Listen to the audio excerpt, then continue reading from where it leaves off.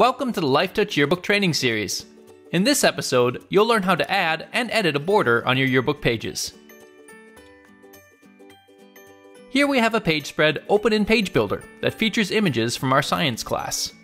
I think a border is just what the page needs to finish off the design. Let's add it together. We'll head over to the side menu and select Borders.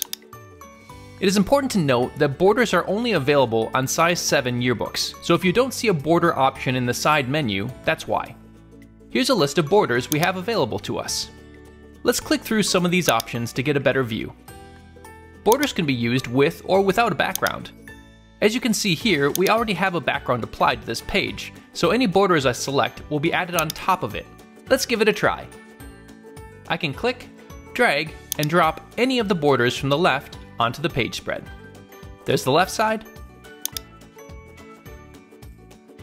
and there's the right. Let's try this one too.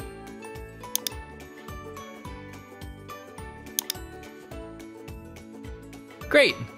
If I want to remove the border, I can select No Border and drag that onto the page.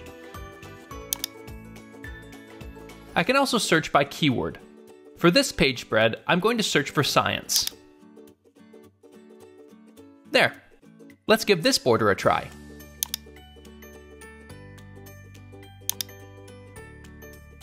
I think that's perfect. If I find a border that I'd like to use on other pages, I can favorite it by clicking the little heart in the corner of the thumbnail. The favorited border will be easy to find in my favorites folder. There it is. When you've applied a border you like, remember to save your work by clicking Save. And that's how to edit a page border. For more info on designing pages in the LifeTouch Yearbook website, including editing page backgrounds, check out our other episodes.